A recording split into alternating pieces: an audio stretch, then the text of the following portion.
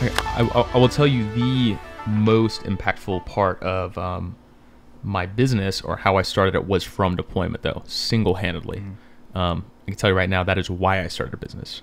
Um, it was a mix between, you know, um, putting all your time and effort into different missions and having to be the adult babysitter um, and kind of have to jump through the hoops. So as an officer, you're playing the middle ground, like, oh, CEO wants this, ex- and his expectations this. Um, your your guys get pissed off, your E5s get pissed off, and they don't see the full picture. Right. You might, me, I might not even see the full picture, but I'm the middleman between the, the you know. 35 dudes and my boss. Mhm. And my boss says one thing and 35 dudes say the other, and I got to find out how to make the middleman happy Yep. between the two. I just remembered what I was going to say. Thanks for saying that. Uh, so when I think of like my younger self looking up, it's like, oh man, that guy hasn't made. That guy hasn't made. Like, what does that mean? Yeah, man. If I was in his shoes, man, like, well, pff, I wouldn't work anymore. I'd be set for life. It's like, and then we look back, it's like. It's, it'd be easier for someone like a younger person looking into like, hey, wow, you're saying this guy says he, well, he's 26, he has his own business, his own company, he's set. It's not how easy it is. It's, Yeah. it's, it's not you just make a company or a business and then Right. you're just raking in money. Um, so I thought, like, do you have anything to add on to that? to like the mindset behind that. Y- yeah, because I know it's it's like, oh, I if I got if I had my own business, I wouldn't work another day in my life. You can't just st- you, you have yeah you have First Victory Films, but you can't just be like I'm retiring. like there's Yeah. more there's more to that. So for a lame for a layman, like I try to help them understand like that concept? That concept's tricky because it's um, it's a toss up, right? It's when you work for yourself, you you have to know what you're weak at. You have to know that you're gonna fail, and you have to know that if you don't go out there and get clients and get money, you're gonna starve. So it's a little more it's a little more pressure than people think because they're like, oh, you have a business, it must be nice that you don't have to go to work, you can sleep in.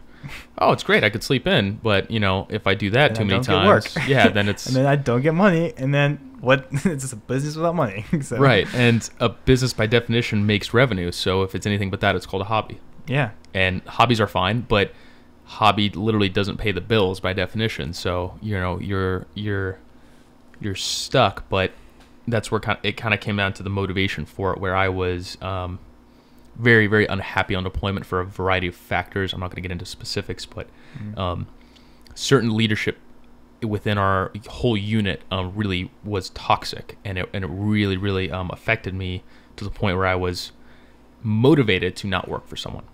Oh, like, absolutely. yeah. Outright, very very motivated because I thought, you know, all I thought about was, cool, I'll get an MBA, I'll do something that makes money, and I'll be happy, and I can have camera gear with the money and do something with that, and eventually I'll I'll I'll, I'll only do camera stuff eventually, and totally flipped me upside down when I was on deployment. I was like, nope.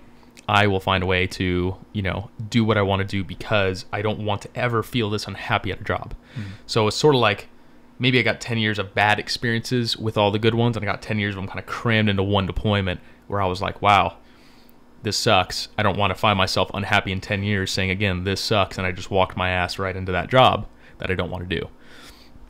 So halfway through deployment, I started to work on a business because I said, I think that's what I want to do. And I don't know exactly what I'm going to do yet, but um, pros and cons of deployment. I had, when I had time off, I had no distractions. I, I couldn't see my girlfriend, wife, anything. When I was, You have a girlfriend and a wife? I have two. My Wow. girlfriend's my cat. Yeah. Yeah. Um, it's like, yeah. I have neither. it's like, well, this sounds like a you. It, sounds like a personal problem. um, you know, you can't go drink on the weekends. You can't go see your friends. We didn't really have a full day off for probably the first six months of deployment. mm-hmm. So you know that that kind of That's especially because because, like, in the you had a combat MS, right? So or Mhm. com- combat branch, I guess, for Mhm. officers to be a branch. So, yeah. So, and it it uh, but when we had the time off, it was cool because once I made this decision, I said, "Dang, I don't I, I don't know how to start." But unlike most people that have to juggle family, kids, and a work, but I want to start a sideline business, they don't know how to spread out their time. I was like, cool, I'm off of my 12 hour shift. I had to go to a meeting in the morning and a meeting at night, whatever. And then I would sit there and be like, all I can do with my crappy Wi Fi, I could barely pick up YouTube videos depending on the place, but, but I could read stuff. So Yeah. I read about what I needed to start a business, how to start one, best ways. I read through so much stuff because I had no distractions. So every day I gave myself at least an hour, learn something about the business, take down notes as like a checklist, like this, this, and this. What can I do before I leave and come back home to set myself up? So I feel like a lot of people get stuck where they're they want to do it, but they have to procrastinate, but they also have distractions and they don't really. Right.